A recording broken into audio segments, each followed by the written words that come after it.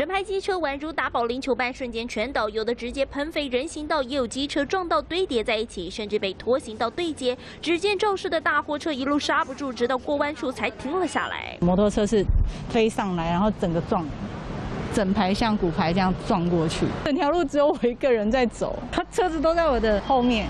店家花盆摆设都被撞烂，目击老板娘还一脸心有余悸。当时走在人行道上，险些受到波及。放眼望去，机车东倒西歪，零件四散，整排机车无一幸免。蛮夸张，发现说这车子整个被撞到外面这样子，有的车基本上就是可能要报废了。我就听到滴滴滴滴滴，嘣一声很大声，啊跑出来看就毁了，车也毁了啊。事发就在台北市林区，当时货车驾驶行经天母国小旁，准备过弯时，疑似刹车失灵，一路撞上路边三十五辆机车、三部自行车，所幸没有造成任何伤亡。而惊险车祸同样发生在新北市泸州区，货柜阴影车一路直行，下一秒只见整辆车卡在高架下，限高杆整个掉落，还险些砸中一旁路过骑士。很大声，看到那大货车在那里，然后都掉下来。之前有跑过了，是没有装铁架的时候，不可以过，差一点点这样。当属货柜驾驶准备前往泰山区送货，疑似没有注意限高，将限高杆撞倒，限高杆当场横切卡在车头，所幸驾驶没有受伤。